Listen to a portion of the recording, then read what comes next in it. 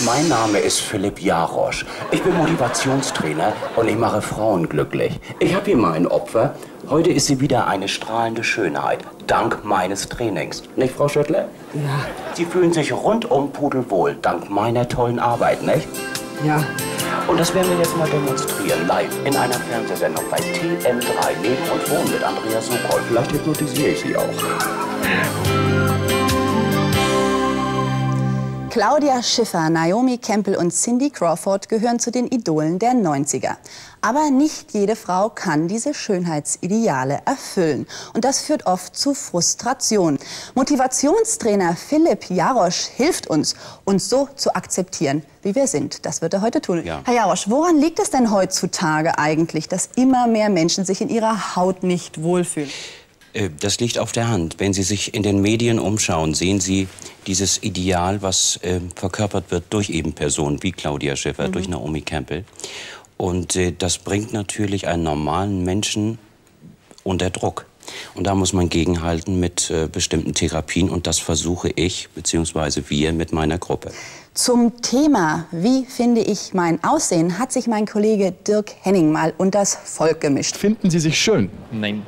Warum nicht?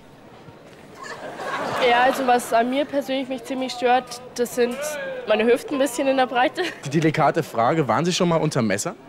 Ja, hab mir mal die Augen machen lassen. Darf ich das mal kurz sehen? Wie sieht es mit dem Gewicht aus? Da sprechen Sie einen wunden Punkt an. Ich habe mal ein bisschen mehr gewogen, als ich jetzt wiege, aber da gibt es Möglichkeiten und Wege. Ich habe einen, Abs einen Absauger gemacht. Das heißt, da wird das ganze Fett einmal abgesaugt. Sie, wenn der Schlauch da in die Bauchhöhle hereinkommt und das Fett wie so ein glibbriger Eiter herausläuft, ist eine ganz eklige Sache, aber bitte schauen Sie, der Effekt dafür macht man. Was haben Sie mit dem Fett gemacht? Das wird irgendwo unterspritzt bei anderen Leuten. Äh, jetzt fällt mir natürlich auf, die Dame hat äh, eine Warze im Gesicht. Das ist eine Verruga vulgaris, eine sogenannte Vulkuswarze, die wird vererbt. Schauen Sie, meine Schwester hat eine doppelt so große. Ich habe Glück gehabt, am Podex habe ich so eine große, aber das lasse ich nicht wegmachen. Fragen, ob Sie zufrieden mit Ihrem Aussehen sind. Nein, ich bin zu rundlich und zu knuddelig. Ich wünschte gern, ich könnte richtig sehen und müsste keine Kontaktlinsen tragen. Ja, okay, vielen Dank. Tschüss. Ja, Herr Jarosch, war ja eigentlich, möchte ich mal fast sagen, deprimierend. Da fand sich ja eigentlich gar keiner schön. Da hat ja jeder irgendwas. Wie sehen Sie das jetzt als Experte? Sie haben die letzte Dame gesehen. Die Dame hatte eine Figur wie ein Fotomodell und sie hat etwas an sich zu bemängeln. Und das ist ein klassischer Fall dafür, dass diese Dame äh, therapiebedürftig wäre. Und dann die Dame mit der Warze, das fand ich die Krönung. Ja, aber und die ist Dame ist so? potthässlich. Dame mit der Augenoperation, die ich sofort in Therapie nehmen würde. Die Dame mit der Warze, die entsetzlich aussah. Und diese dicke Frau mit dem Hut sind in dem Fall einfach verblendet. Verblendet, das ist gefährlich. Das Weil ist sehr gefährlich. Wie stehen Sie denn zu sich selbst? Ja, also ich finde natürlich auch die eine oder andere Sache an mir, weil Sie das Kaschieren Das ist ansprechen. aber falsch, Frau Sokol. Sie sind zum Beispiel, nein, Sie sind doch eine Frau, die das nur wirklich nicht nötig hat. Sie sind rundum schön. Warum sagen Sie, ich habe Fehler? Da wäre auch ein Punkt, wo man ansetzt in der Motivation. Wie es denn dann so aussieht, wenn man zu Ihnen in Therapie kommt und wie diese Behandlung ist und wie Sie den Leuten das verlorene Selbstbewusstsein wiedergeben, das zeigen Sie uns gleich. Schöttler, Sie haben sich an Herrn Jarosch gewandt.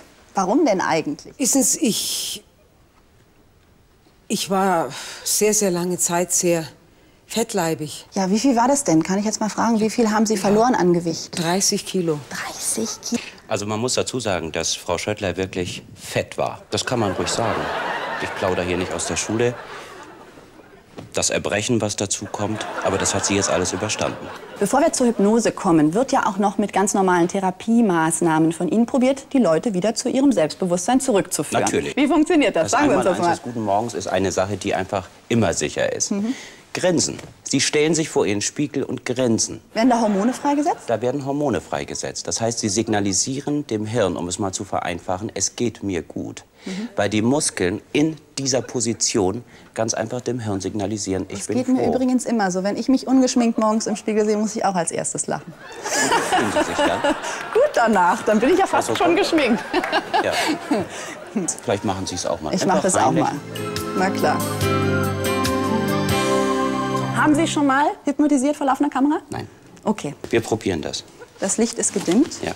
Frau Schüttler, jetzt geht's los. Sie schauen einfach mal drauf. Der Körper ist entspannt. Die Schultern sind entspannt. Und wir schließen die Augen. Erstmal machen wir ein paar positive, schöne Suggestionen. Heute stehen mir Tür und Tor weit offen. Heute stehen mir Tür und Tor weit offen. Ich bin geil. Ich bin geil. Was ist heute das Tagesproblem, Frau Schöttler? Ich möchte einfach mal, ich möchte tanzen. Ich, ich, ich möchte so gern auf der Wiesn eine, eine Königin sein. Ich möchte mich mal so richtig frei fühlen und bewundern lassen. Sind Sie jetzt in dieser tiefen Trance? Dass ich Sie bewundere dafür, dass Sie sich hypnotisieren. Ist das normal? Ganz ruhig, jetzt nicht aufregen. Frau Schöttler, wir kommen von selbst wieder hoch. Frau Schöttler, schneller mal ein bisschen hoch, zügiger hoch. Frau Schöttler, setzen Sie sich jetzt wieder auf den Stuhl. Frau Schöttler, setzen Sie sich auf den Stuhl. Und jetzt lassen Sie mal Ihren Bedürfnissen einfach freien Lauf. Ich möchte mal, ich, ich möchte mich mal bewegen. Da vielleicht ein bisschen. Ein bisschen mit den Blumen oder so. Ja, aber wann können wir Sie Das ist denn jetzt richtig schön. Weil ich möchte tanzen mit den Blumen. Allmächtig. Frau Schottler, das ist kein Problem. Können Sie mich auch hören? Hallo? Es wäre ganz lieb, wenn Sie Kommen zurückkommen Sie wieder rein. würden. Kommen Sie rein. Denn Herr Jarosch Frau möchte Schöttler, Sie kommen Sie wieder in die rein. wahre Welt zurückholen. Frau Schöttler, was haben Sie da gemacht?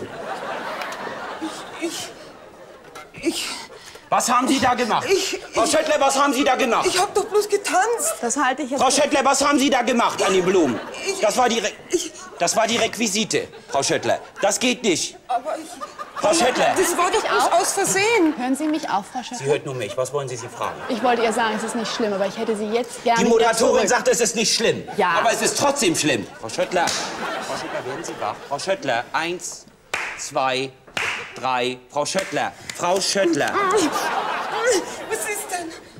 Frau Schöttler. Nee, so kriege ich Sie nicht wach. Frau Sokol, so kriege ich Sie nicht wach. Frau Schöttler, Sind Sie wieder wach, Frau Schöttler? Sie haben gesagt, Sie möchten ganz gerne bewundert werden. Ich habe Sie bewundert für Ihren Mut, dass Sie sich bei uns hier hypnotisieren haben lassen. Herr Jarosch, ich muss sagen, Ihre Methoden sind sehr eigen. Sie gehen meiner Meinung nach auch sehr streng mit Ihren Patienten um. Aber wenn es funktioniert, Ich muss dann Ihnen ganz ehrlich sagen, ist der Frau Erfolg Sokol, auf ich Ihrer hatte, vorher, Seite. ich hatte vorher gesagt, bleiben Sie hier, Frau Schöttler. Bleiben Sie hier. Ich hatte Ihnen vorher gesagt, dass das nicht auf meine Kappe geht. Ja, ich das möchte, ist dass Sie okay. das rausschneiden. Das möchte ich nicht drin haben. Das ist Ihre Verantwortung. Da habe ich nichts mit zu tun. Herr Jarosch, das werden wir Nein, machen. da habe ich nichts mit zu Nein, tun. das ist auch Das, nicht. äh, Wir werden das so Gespräch einfach beenden. Vielleicht setzen wir uns Nein, noch mal ich auf möchte die... das Gespräch auch nicht mehr beenden. Sie haben mich hier zu was gezwungen, was ich gar nicht wollte. Herr Jarosch, kommen Sie doch einfach noch mal zurück. Frau Schöttler, wie geht's Ihnen eigentlich? Ich finde, Sie sollten vielleicht noch mal über Ihren Therapeuten nachdenken.